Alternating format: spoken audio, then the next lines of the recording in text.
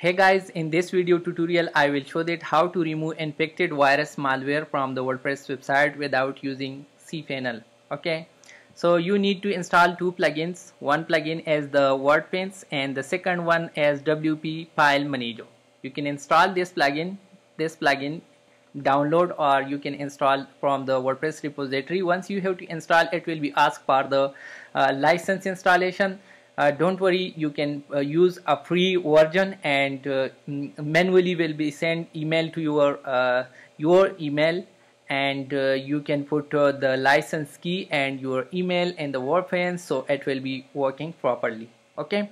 So here you will see this plugin. So now I'm gonna click on skin. Here you will see these options and you can click just uh, uh, start new scan right? Once you click uh, on the start new scans so all the file will be uh, scanned like uh, this one. I have already scans all the file because it take time and you can wait for that right? Once your scan is uh, successfully completed uh, you will see this message issue found critical issues okay so now I'm gonna click on detail. So you can just click on details and see here the three options. So now I'm gonna click on the second one.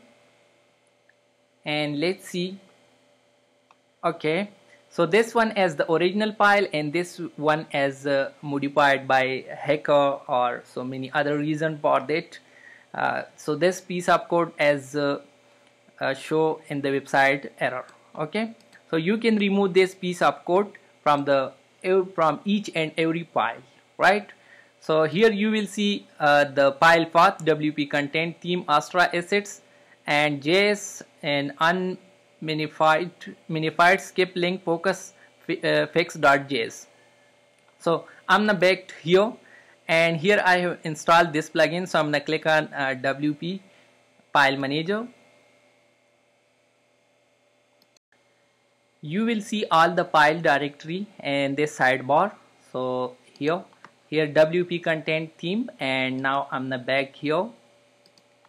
So here wp content theme and then astra and here you will see assets. Inside the assets you will see uh, unminified i'm gonna click on unminified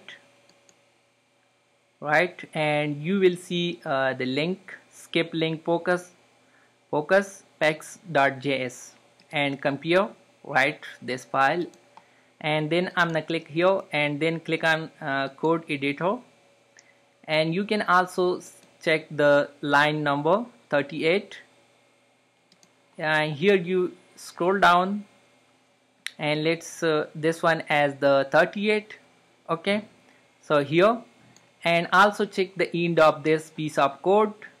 Return a so now back here and let's scroll down.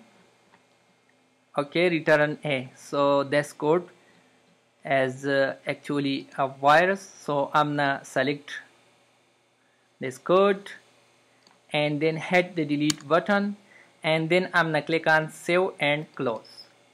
Okay once it's save and close now I'm gonna refresh as the error exists or now I'm gonna uh, refresh this page.